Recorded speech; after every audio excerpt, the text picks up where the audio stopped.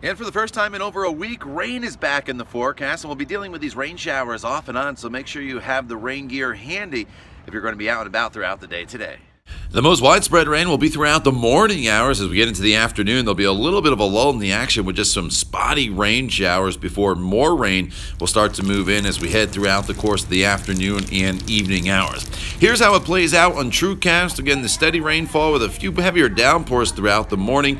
Here's the afternoon with just some spotty showers. Then heading into the afternoon and evening, a few thunderstorms could be possible as well, but we are not expecting any severe weather heading into early Friday morning.